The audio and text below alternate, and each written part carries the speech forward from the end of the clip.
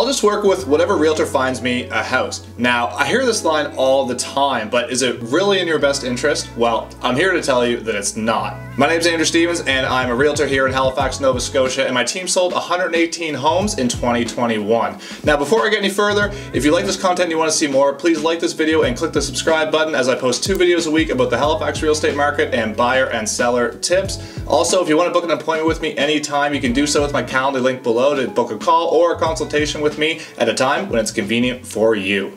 So if you're seriously looking for a home in Halifax, Nova Scotia right now, you really should be working with a buyer's agent. This market is extremely tough, and although it's been a little slower the last two or three weeks, you're still gonna face multiple offers on almost every single house that you're putting an offer in on. So here's five reasons why you should be working with a buyer's agent. So number one, representation. Most listings are on the MLS and most of these MLS listings have their own agent representing them and their best interests. So if they have a professional representing them, you should have one representing you as well because those listing agents have only one person in mind in that transaction. And guess what? It's not you as an unrepresented buyer. So if you have a buyer's agent, they are legally obligated as per your contract to look out for your best interests and all their loyalties lie with you. Reason number two, blind bidding. So this market is extremely difficult to track. Even as a full-time agent, it's constantly changing. It's your buyer's agent's job to make sure that your offer is competitive, but not grossly overpaying for a home. And if you do grossly overpay for a home, you might be in a world of hurt if you go to sell in a few years from now if your situation changes. Number three, convenience, trust, and relationship. So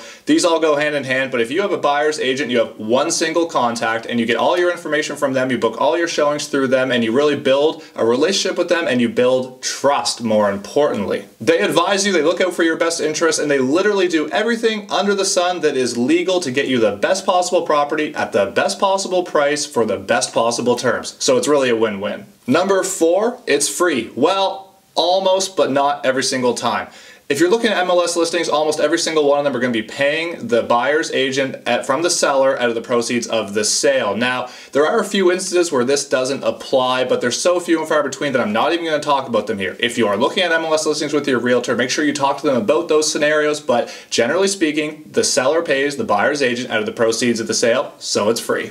And number five, loyalty. So it's your buyer's agent and your best interest to find you a house. Now, if you're invested in your buyer's agent, they will in turn be invested in you. So they're on a contract to help you find a house and they will scour the ends of the earth to find you a house, whether it's off market, MLS, or through their industry connections and their office. So if they find you an off market deal, that's really a gold mine in this scenario with this market that we're in right now because you might not have to compete in a multiple offer situation for it. I hope you found this video helpful and for the love of God, if you're a buyer out there in Halifax right now contacting listing agents to view a property, please call me or call another agent. It doesn't matter if it's me, but call an agent and discuss with them how they could help.